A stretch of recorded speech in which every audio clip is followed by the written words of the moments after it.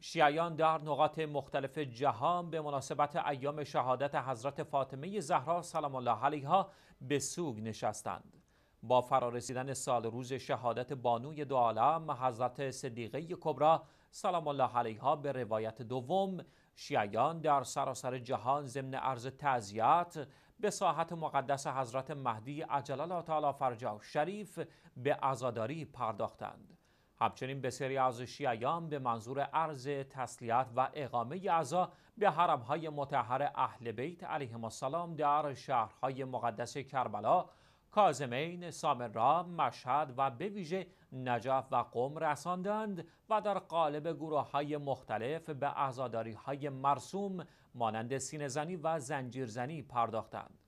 در بیت مرجعیت شیعه آیت الله العظما حاج سید صادق حسینی شیرازی مدظله نیز با هدف احیای شاعر فاطمی خیمه عزا برپا شد که شاهد حضور شیعیان و محبین اهل بیت علیهم السلام بود. در این مجالس که جمعی از فضلا، روحانیون، اساتی، طلاب و عموم محبین اهل بیت علیهم السلام حضور داشتند. سخنرانان به ذکر فضایل و مناقب و گوشه های از ابعاد شخصیتی بانوی دو عالم پرداختند و ذاکران اهل بیت علیهم السلام در ازای آن حضرت مرسی سرایی کردند.